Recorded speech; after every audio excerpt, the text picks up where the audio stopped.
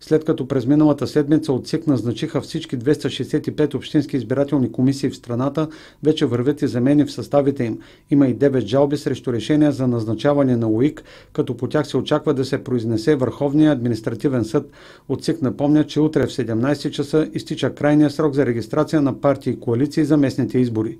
Партиите и коалициите, които вече са регистрирани в Централната избирателна комисия, подават своите документи за регистрация в общинските избирателни комисии, но окончателният списък с всички регистрирани партии и коалиции, знаете, ще бъде изпратен от Централната избирателна комисия на 14 септември на общинските избирателни комисии, тъй като последният срок за подаване на документи е утре, 13 септември в 17 часа в ЦИК и ние ще вземем решение, дори и при неприключила проверка, ще регистрираме всички партии и коалиции подали документи.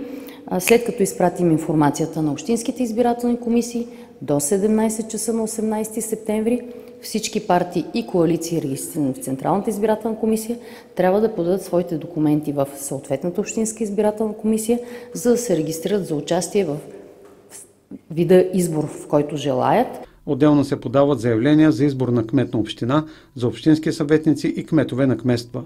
И за всеки отделен вид от тези избори, всяка партия или коалиция, или ако се образува местна коалиция, трябва да подаде заявление за регистрация в Общинската избирателна комисия. След като изтече срока за регистрация 18 септември от Общинските избирателни комисии, на 19 ще започне подаването на документи за регистрация на кандидатски листи от партии, коалиции, местни коалиции, които са регистрирани, съответно от инициативни комитети, които издигат независими кандидати.